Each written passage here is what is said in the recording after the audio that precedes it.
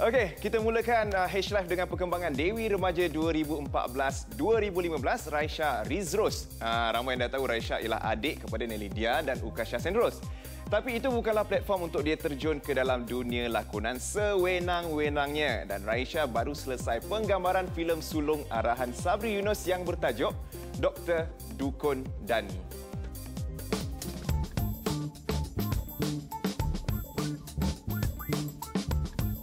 Dari segi personal opinion you sendirilah, kenapa agaknya mereka memilih you sebagai juara di Remaja you rasa?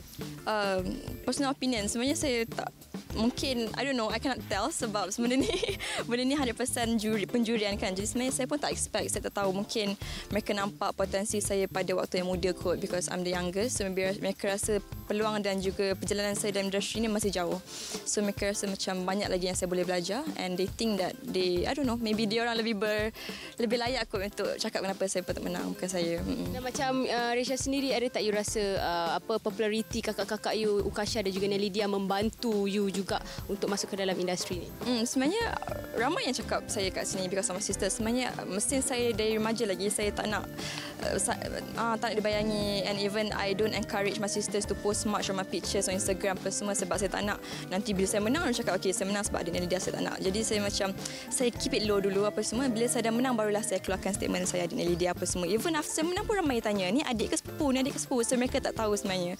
Jadi uh, I don't think there's such thing as saya di sini of my sisters. Tapi um, alhamdulillah lepas saya menang, mereka pun macam uh, everything is okay lah after that. So macam there's no such thing as popularity apa semua tu lah. Mungkin dia macam ada advantage dekat you juga sebab dah awal-awal you dah mengenali orang-orang dalam industri juga kan. So macam mana you nak membawa diri supaya elak daripada kontroversi terhadap diri you? Ya betul. Maybe uh, itulah advantage yang saya dapat because saya dapat kakak-kakak yang berpengalaman dalam bidang industri.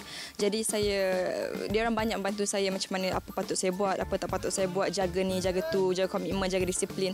Jadi um, itu adalah advantage saya boleh cakap lah. Mereka banyak bantu saya, nasihat saya.